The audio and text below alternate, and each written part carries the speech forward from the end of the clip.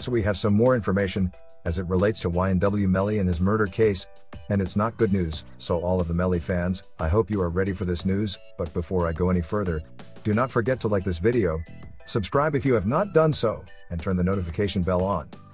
So let's get into this article that gives you a better understanding of what's going on. So it reads, YNW Melly new evidence reportedly proves he shot and killed his two friends. The evidence presented reportedly proves that YNW Melly pulled the trigger and killed his two friends. Prosecutors are reportedly working hard to try and get Florida rapper YNW Melly, Jamel Demons, into the execution chair, presenting 66 new pages of DNA evidence that prove that he pulled the trigger and killed his two friends, YNW Sackchaser, Anthony Williams, and YNW Juvie, Christopher Thomas Jr., in October 2018. According to a report from DJ Akademiks, the Murder on My Mind rapper is a month away from his double murder trial starting, and things aren't looking good for him. With only a few weeks before the trial kicks off, 66 new pages of DNA evidence have been presented by prosecutors, reportedly proving that the gunshots were fired from YNW Melly's seat in the car, using phone records to show that the rapper was in the area at the time of the shooting.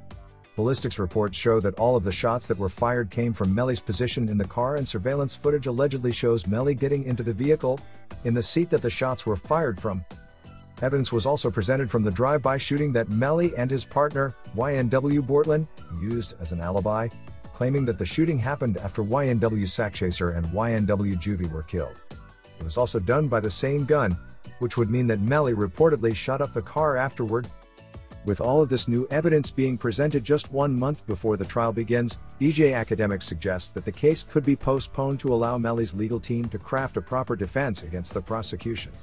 This could get very bad for the rapper as prosecutors are strictly looking to give him the death penalty and not life in prison.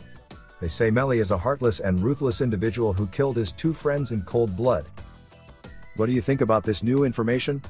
We will continue to keep you updated as news releases from YNW Melly's upcoming double murder trial. So how do you guys feel after hearing that? Do you think Melly is innocent? It seems like the prosecution has been working over time, and we have to remember that the death penalty is not a joke. I'm pretty sure Melly's mom is at a loss for words. But the thing about it, why do these rappers put themselves into situation like this? It's really sad. But I hope the defense team put together something strong, because like I said, the death penalty is not a joke but leave a comment and let me know how you think this case will turn out, and also do not forget to hit the like button, subscribe and turn the notification bell on, and I want to shout out blaster.com for this article, peace.